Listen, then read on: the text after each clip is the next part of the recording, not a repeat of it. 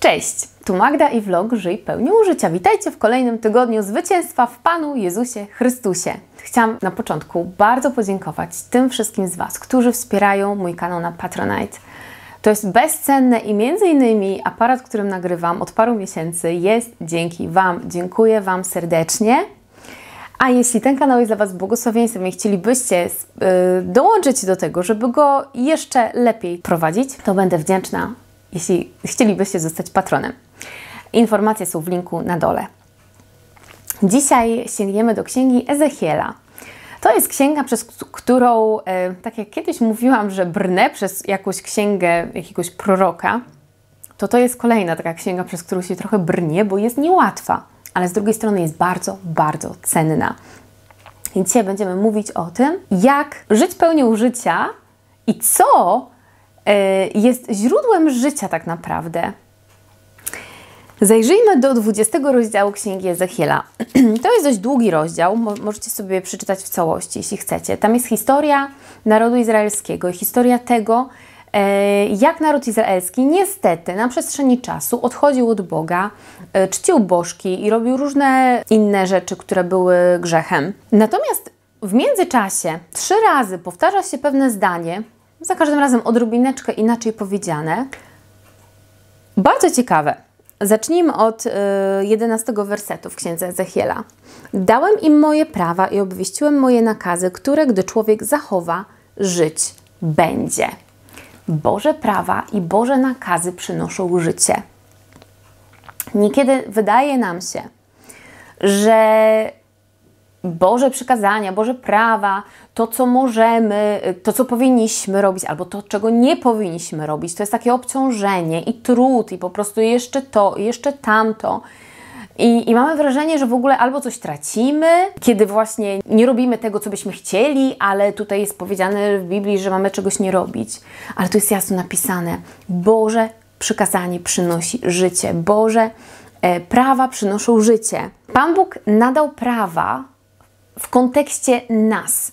To znaczy, najpierw nas zaplanował, jak mówi Efezjan 1.5, o czym niedawno tutaj mówiłam też na kanale, zaplanował nas przed założeniem świata i dopiero potem, kiedy już stworzył pierwszego człowieka na ziemi i potem kolejnych ludzi, dał też yy, od samego początku już w sumie, nadawał konkretne prawa, zasady, pewne ramy i yy, ramy do życia.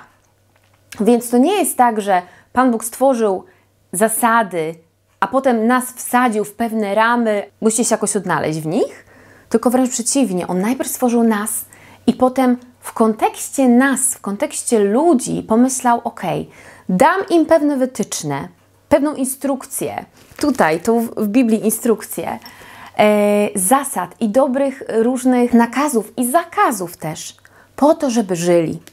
Drugi werset, e, trzynasty werset 20 rozdziału Ezechiela mówi tak, druga część tego wersetu.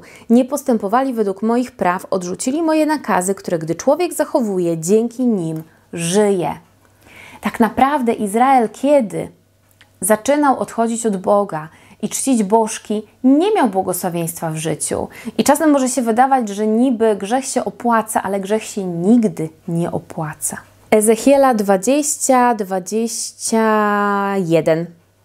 Nie postępowali według praw moich, nie czuwali, aby w czyn wprowadzić moje nakazy.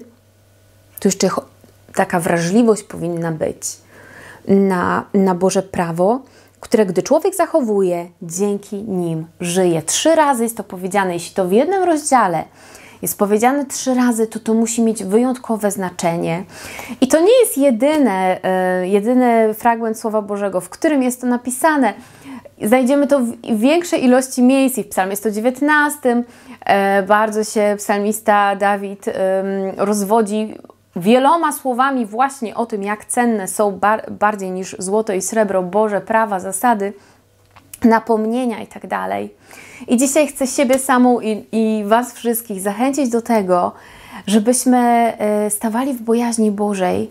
O właśnie, jeszcze, jeszcze końcówka tego, e, tego e, rozdziału Ezechiela.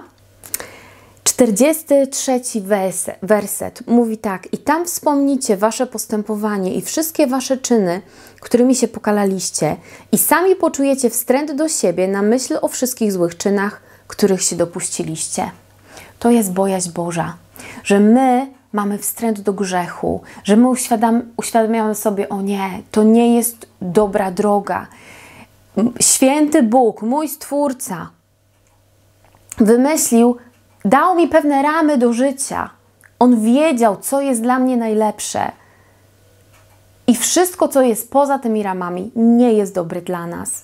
I to jest zdrowa postawa, to jest zdrowa postawa, że my mamy bojaźń Bożą, że mamy nie lęk, ale szacunek i respekt do Pana Boga i także wstręt do grzechu. I dzisiaj zachęcam nas wszystkich, żebyśmy żyli pełnią życia, a życie pełnią życia polega na tym, że żyjemy w ramach, które nam Pan Bóg wyznaczył. Cenimy Jego nakazy, cenimy Jego przykazania, bo dzięki temu naprawdę mamy życie. Więc żyjmy w bojaźni Bożej, w świętości yy, i nie ma lepszej drogi, żeby żyć pełnią życia. Dziękuję Wam za dziś, widzimy się za tydzień. Pozdrawiam Was serdecznie. Pa, pa. He's coming again. I know he's coming again.